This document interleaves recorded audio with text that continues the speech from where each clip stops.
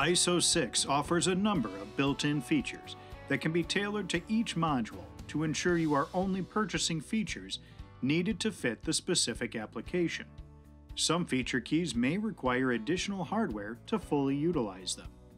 Common feature keys include advanced seed data, including seed quality, virtual switches for manual section control activation, frame folding control to integrate folding into one terminal, and advanced tramlining for calculating and activating specific row shutoffs as seen in most European operations. Feature keys can be bundled in various configurations, each tied to a specific number of channels desired. Along with the standard master module, additional modules can be added on to match to specific applications.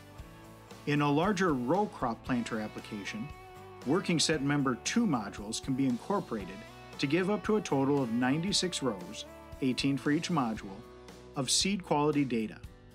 In the case of simple population reporting, or use with blockage sensors like on an air cart, the working set member 18R modules report up to 18 rows with a maximum of 120 rows per system.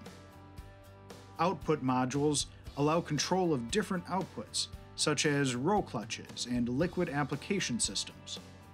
Common output modules are POM, TCOM, and BOM.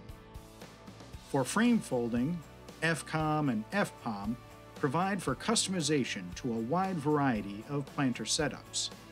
TROM is used when tramlining and collects feedback and provides up to 64 different outputs for bout shutoff and advanced tramlining features. ISO 6 follows the standard CAN architecture and ISO 11783 protocols. A system can be configured in a wide variety of ways, from very basic to complex, with multiple secondary modules, harnessing, and differing inputs and outputs. A system will start with a cab harness that connects to the virtual terminal. This cab harness connects to the implement CAN breakaway harness through the ISO implement connector, either through the IBBC at the rear of the tractor, in the case of an ISOBUS ready tractor, or through a similar coupler when using a tractor where ISOBUS has been added in aftermarket. From here, the breakaway harness connects to the working set master T harness, that then connects to the ISO 6 master module and additional modules as configured. Off of the master or accessory harnesses, actuator harnesses and or specific harnesses such as the planter harness connect to allow the reading of inputs and carry the message for activating outputs. For more information, see our full suite of informational videos or visit us online at dickey-john.com.